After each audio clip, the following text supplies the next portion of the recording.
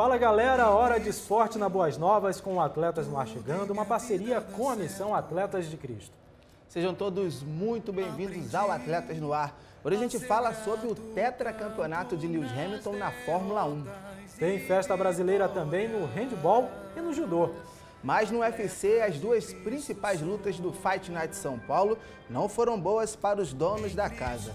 E no Campeonato Brasileiro, o Corinthians perdeu mais uma, colocando fogo na disputa pelo título. E hoje a gente estreia um bloco especial com a galera da missão Atletas de Cristo, diretamente de São Paulo. É isso aí, nós começamos esta edição em alta velocidade. O campeonato de pilotos da temporada 2017 de Fórmula 1 acabou e Lewis Hamilton é campeão pela quarta vez. O inglês chegou em nono lugar no Grande Prêmio do México e isso bastou para acumular pontos suficientes para não ser mais alcançado na tabela. Apesar da euforia pelo título, o piloto da Mercedes ficou um pouquinho frustrado por não ter sido campeão, por ter sido campeão, aliás, sem vencer a prova. É. O lugar mais alto do pódio ficou com Max Verstappen. Valtteri Bottas foi o segundo mais rápido e Kimi Raikkonen terminou em terceiro. O vice-líder da competição, Sebastian Vettel, foi o quarto. O brasileiro Felipe Massa terminou na 11ª posição. Vamos ver como é que está a classificação já com o Mundial de Pilotos definido. Já campeão, Lewis Hamilton tem 333 pontos, faltando ainda duas corridas para o fim da temporada. Sebastian Vettel já não pode alcançá-lo, tem 277 pontos.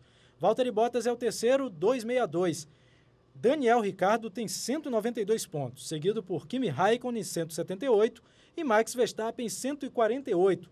O brasileiro Felipe Massa é o 11º, tem 36 pontos até aqui. No Mundial de Construtores, a Mercedes lidera com folga, 595 pontos. A Ferrari vem em segundo com 455, seguida pela RBR 340, a Force India 175 e a Williams fechando o top 5, 76 pontos. Mudando agora de esporte, Roger Federer ganhou mais uma vez em casa.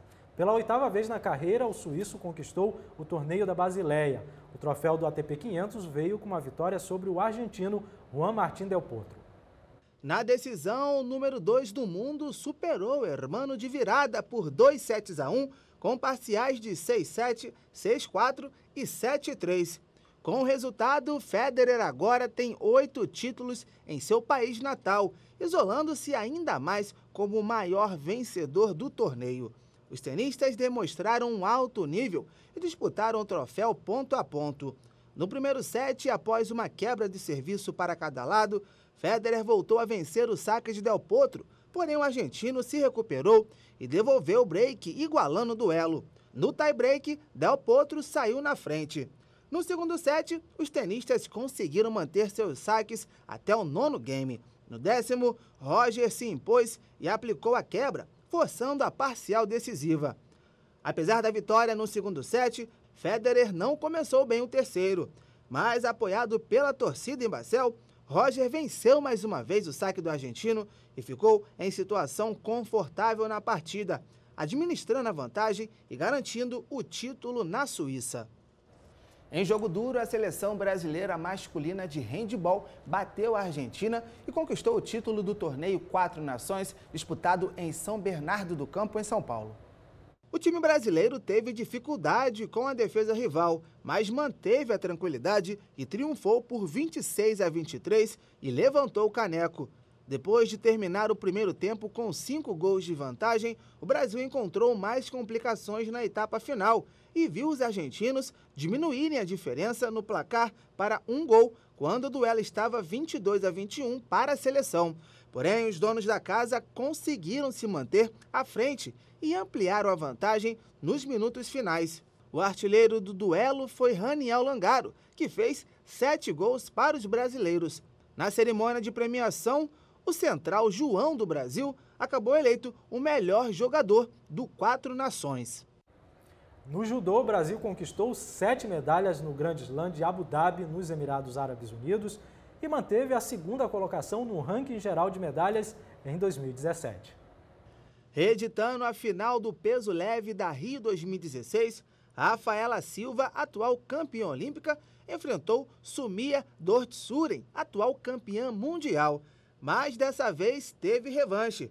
a Mongol derrotou a brasileira no Golden Score e deu o troco para ficar com o título.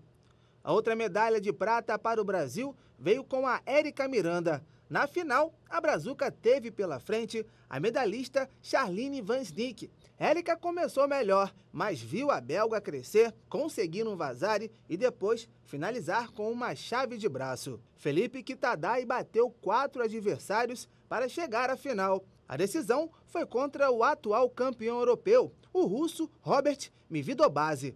O brasileiro recebeu três punições e acabou desclassificado do combate, terminando com a prata. A atual campeã do mundo, Mayra Guiar, ficou com a medalha de bronze. Na decisão, a gaúcha bateu a russa Antônia Smileva. Maria Portela também conquistou o bronze do peso médio, ao vencer a alemã Laura Vargas Koch por ipom de imobilização. Nos pesos pesados, teve dobradinha no Brasil. Final de semana teve UFC Fight Night em São Paulo. E olha, a noite não foi nada boa para os brasileiros nas, nas duas lutas principais do evento. Diferente de outros combates, Bronson começou respeitando o jogo do rival. Parecia que o dragão levaria o americano para dentro do seu jogo. Mas com um lindo cruzado de esquerda, Derek Bronson apagou Lioto Machida. Este foi o terceiro resultado negativo seguido do Dragão. Na entrevista pós-luta, Derek pregou respeito ao brasileiro e recebeu aplausos da torcida. Quem não teve o mesmo tratamento foi Kobe Covington. Ele derrotou Demian Maia por decisão unânime dos juízes, depois de três rounds. Essa foi a quinta vitória seguida e a décima terceira na carreira. O lutador fez sinal de que queria o cinturão e disse entre provocações e desafios a Tyron Woodley que odiava o Brasil e que os brasileiros são animais imundos. Atitude desnecessária do lutador. Mas teve lutador brasileiro nocauteando os oponentes, hein? Thiago Marreta venceu Jack Hamilton por nocaute técnico no primeiro round, depois de apresentar a potência de seus golpes ao sueco, que se tornou mais uma vítima do carioca da Cidade de Deus. John Lineker, que estava 10 meses sem lutar, precisou de três rounds para derrotar o equatoriano Marlon Vera por decisão unânime dos juízes, na abertura do card principal do UFC São Paulo. Aproveitar e mandar um alô aí pro nosso amigo Thiago Marreta, né? Você já teve aqui no grande parceiro nosso aqui no Atletas no Ar, mais uma vitória impressionante. Parabéns. Tamo junto. Galera, a gente vai fazer um intervalo e depois a gente volta só no terceiro bloco. É, você não entendeu errado não, meu amigo. É que, no, é que no segundo bloco tem estreia. Os atletas de Cristo chegam com as notícias da missão. E nessa primeira edição, Marcos Grava vem com uma entrevista especial, diretamente do Congresso Brasileiro de Missões. Em seguida, a gente volta com as emoções do Campeonato Brasileiro. Não perca, daqui a pouco.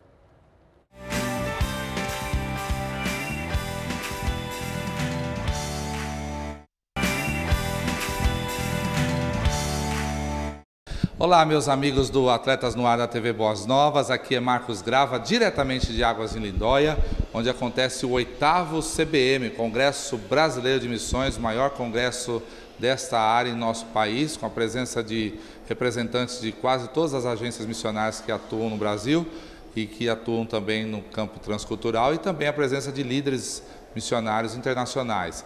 Vocês estão acompanhando na programação da TV Boas Novas muitos desses é, pastores e líderes que estiveram abençoando a nossa igreja aqui no Brasil.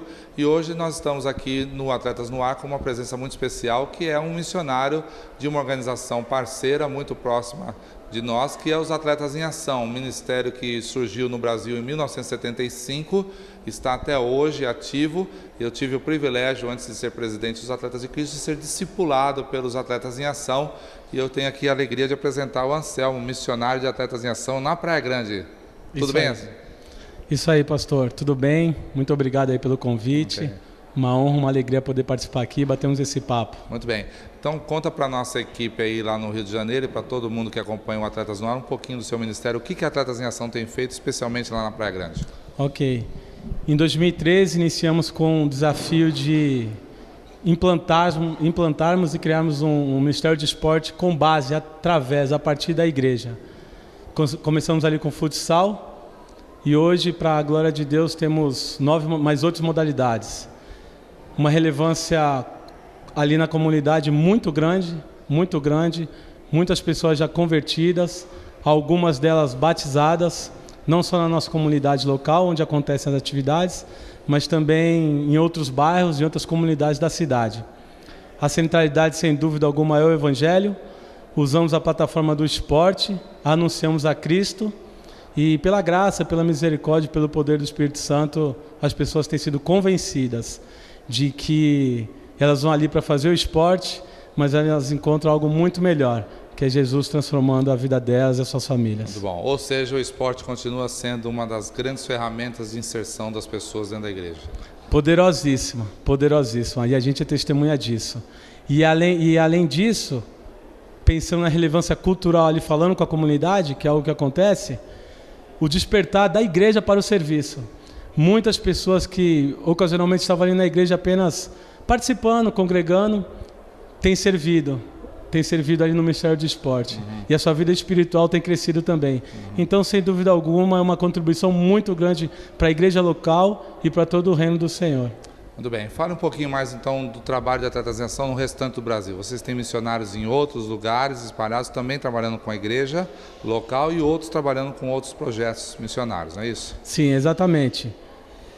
Uh, hoje, basicamente, prioritariamente, nós temos atingido Minas Gerais, Fortaleza, Recife, Rio de Janeiro e São Paulo capital. Eu estou lá na Baixada Santista Litoral com a seguinte função: os coordenadores de região. A gente visita pastores, entra em contato com a igreja de pastores, marcamos uma entrevista, apresentamos o nosso trabalho, oferecemos a parceria. Para que, para que aconteça o que aconteceu na nossa comunidade. E aí a gente mostra então como projeto piloto que houve, o fruto disso, o benefício disso, foi o que eu acabei de dizer aqui. E a partir do momento que os pastores têm aberto a visão, têm entendido e compreendido essa importância, a gente treina a igreja, capacita a própria igreja para que ela realize o ministério local ali e desenvolva e receba todos os frutos, as bênçãos do Senhor através desse serviço para o meio do esporte, a comunidade aí, tudo que acontece. Então, basicamente, é isso que a Ação tem feito.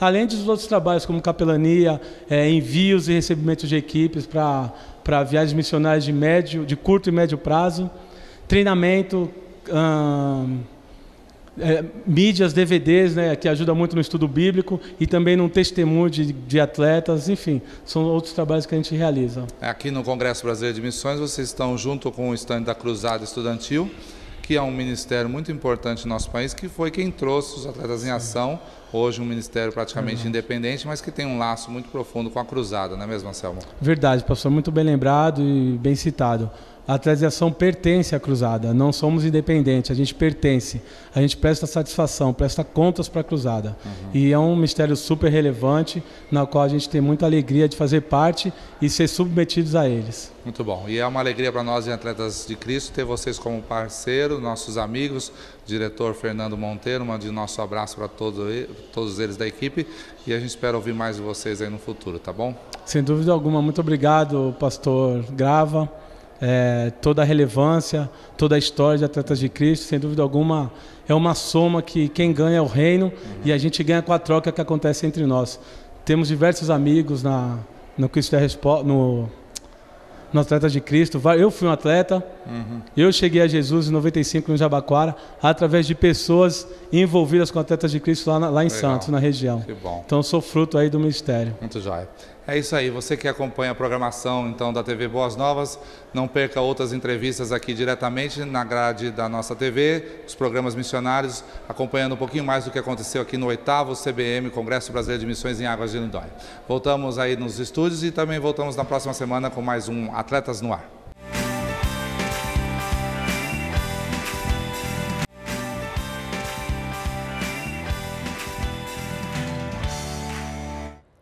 Já estamos de volta com Atletas no Ar e agora o assunto é esporte adaptado. O circuito Loterias Caixa de Atletismo, Alterofilismo e Natação encerrou sua temporada no Centro de Treinamento Paralímpico. Pois é, as equipes de três modalidades aproveitaram para fazer os últimos ajustes antes dos respectivos mundiais. A edição 2017 do Circuito Loterias Caixa, o principal evento do esporte adaptado no Brasil, chegou ao fim após quatro etapas regionais e as três nacionais. O último estágio em São Paulo contou com a presença de 864 atletas, 501 pelo atletismo, 93 no alterofilismo e 270 na natação. Nas piscinas, os atletas competiram pela última vez antes do Mundial da Cidade do México, que vai acontecer de 2 a 7 de dezembro. No atletismo, o circuito marcou o estabelecimento do novo recorde mundial no arremesso de peso. No Centro de Treinamento Paralímpico aconteceu também o Campeonato Brasileiro de Esgrima em Cadeira de Rodas. O Paraná foi o grande campeão. A equipe formada por Rodrigo Massaruti, Moacir Ribeiro, Clodoaldo Zafatoski e Giovanni Guissoni venceu o time paulista por 45 a 21 pontos. O ouro por equipes fechou o fim de semana perfeito para Guissoni, que venceu ainda na espada e no florete B. Hora de Campeonato Brasileiro. A 31ª rodada começou com dois clássicos estaduais. No Rio, Flamengo e Vasco. E em São Paulo, o tricolor paulista bateu o Santos. No Pacaembu, São Paulo fez valer um mando de campo e bateu o postulante ao título Santos. Lançamento de Hernani, Marcos Guilherme venceu a marcação e encobriu Vanderlei. Hernani também deu passe para o gol de Cueva, que valeu os três pontos e um salto na tabela. No Maracanã, Flamengo e Vasco não saíram do 0 a 0 em uma partida sem muita criatividade, muitos passes errados e poucas chances claras de gol. Resultado comemorado pela torcida vascaína e vaiado pela do Flamengo. Na Arena da Baixada, Atlético Paranaense e Chapecoense fizeram um duelo ainda menos criativo, sem muitas emoções, e o placar não poderia ser outro: 0 a 0. As duas equipes se mantêm ali bem no meio da tabela. No domingão, a Ponte Preta venceu o Corinthians e colocou ainda mais emoção na disputa pelo título. No Moisés Lucarelli, a Ponte Preta derrotou o Timão com o gol do atacante Luca, emprestado do próprio Corinthians para Macaca. Com a derrota, o Alvinegro ligou o alerta na competição. O Fluminense recebeu o Bahia no Maracanã. O tricolor baiano surpreendeu o Carioca com um gol relâmpago, logo aos dois minutos, mas o time da casa empatou com Gustavo Scarpa. 1 a 1.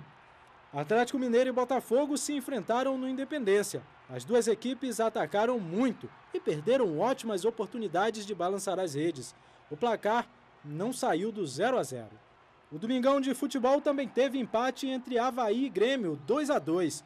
Esporte e Curitiba foi uma partida de viradas e reviradas, melhor para o Coxa visitante, 4 a 3. O Vitória recebeu o Atlético Goianiense. A partida terminou empatada, 1 a 1.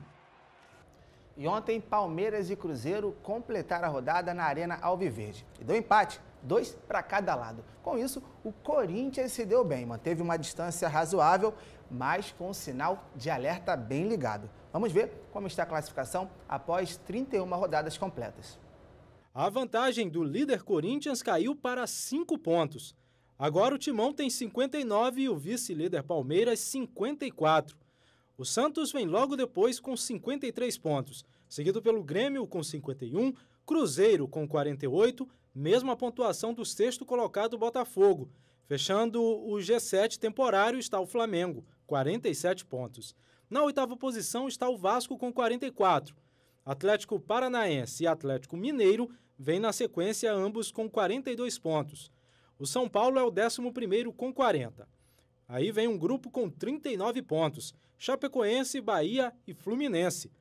O esporte, 15º, tem 35 pontos, mesma pontuação do 16º Coritiba. Na zona de rebaixamento estão a Ponte Preta com 35 pontos, Havaí também com 35, Vitória com 34 e Atlético Goianiense com 27 pontos. O campeonato vai pegar fogo nas próximas rodadas. E recentemente a FIFA decidiu reconhecer os títulos mundiais dos times que venceram o antigo torneio Interclubes, disputado entre os campeões sul-americano e europeu.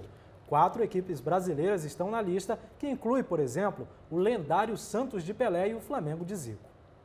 A federação decidiu reconhecer como campeões mundiais os clubes que venceram o antigo Mundial Interclubes, confronto que era disputado de 1960 a 2004 entre o campeão sul-americano e o europeu. A decisão foi anunciada na reunião do Conselho da entidade em Calcutá, na Índia. Com isso, passam a ser considerados campeões mundiais FIFA os times do Santos, que venceram a disputa em 1962 e 1963, o Flamengo, que faturou o torneio em 81, o Grêmio, campeão em 83, e o São Paulo, bi, em 92 e 93. O reconhecimento da FIFA reforça a possibilidade de que o duelo entre o campeão da Libertadores e o da Liga dos Campeões volte a acontecer. O Mundial de Clubes, no formato atual, passaria a ser disputado de quatro em quatro anos. Depois do anúncio, pelo Twitter, o presidente da entidade, Alejandro Domingues, divulgou a carta em que solicitou o reconhecimento a Gianni Infantino, em junho. No post, Alejandro agradeceu à FIFA pela decisão. É, amigo, milhões de torcedores brasileiros também agradecem. Mas vamos ser sinceros, nenhum deles com certeza duvidava de que seu time é dono do caneco mundial. É, justo reconhecimento, né? Com certeza. Pessoal, Atletas desta semana vai ficando por aqui, mas você pode falar com a gente sempre pelo e-mail atletasnoar@boasnovas.tv e também pelo WhatsApp no DDD 21 97986 4957. não deixe de visitar o site da Missão Atletas de Cristo no endereço atletasdecristo.org, onde você também encontra a loja virtual. Curta também nossa página em facebook.com.br atletas no ar. Forte abraço, uma semana abençoada. Até semana que vem. Tchau, tchau. A ser grato tanto